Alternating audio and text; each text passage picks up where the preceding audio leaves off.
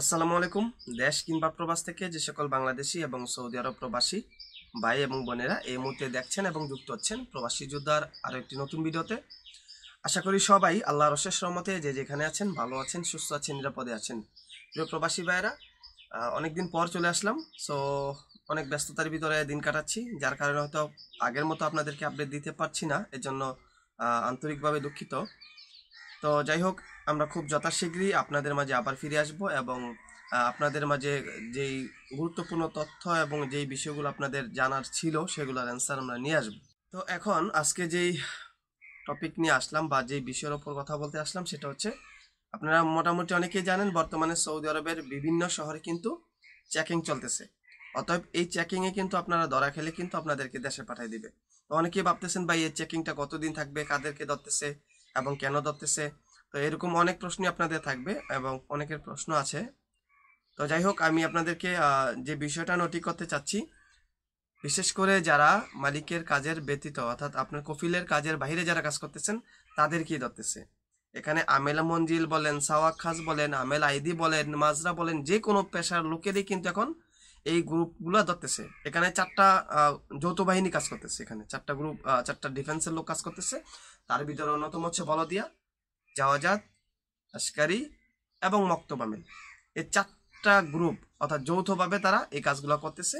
যারা শ্রম আইনের আওতাধীন না, যারা শ্রম আইনের শ্রম আইনের বাইরে কাজ করতেছে, তাদেরকেই মূলত ধরতেছে। এখানে যারা আপনারা, বিশেষ করে যারা বাইরে কাজ করতেছেন, কফিলের অনুমোদন ছাড়া অথবা কফিল আপনাকে অনু- অনু- অনুমোদন দেয় নাই।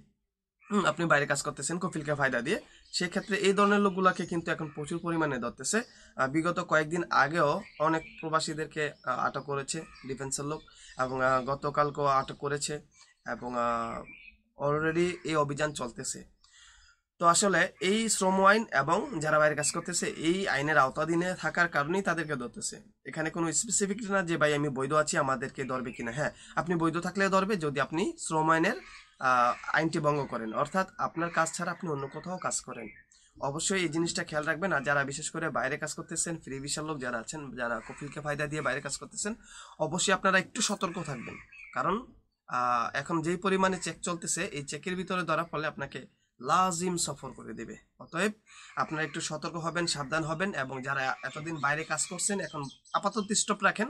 যখন পরিস্থিতিটা স্বাভাবিক হবে, তখন আপনারা না হয় আবার কাজ করবেন।